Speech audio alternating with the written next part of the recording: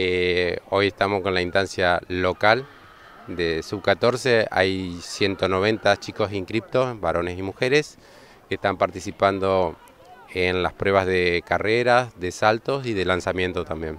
¿Cómo se hace la o se lleva adelante la organización, teniendo en cuenta que hay que fiscalizar, llevar los controles? Eh, en ese sentido, ¿cómo se desarrolla?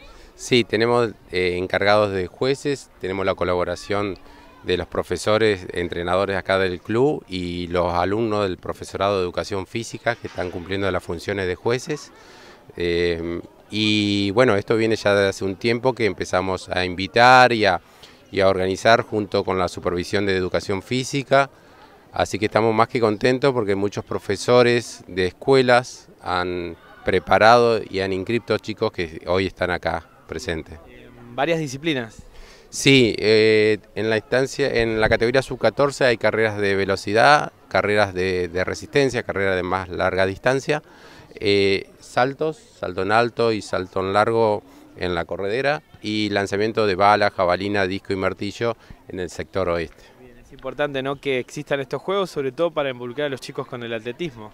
Seguro, seguro. Eh, dentro de la, de la currícula escolar el atletismo cumple una función muy importante, dado que se desarrollan las habilidades básicas de, correr, de saltar y de lanzar. Así que estamos muy contentos que, se hayan animado y que se hayan preparado los profes, a, los profesores, a, los alumnos y, estén aquí hoy.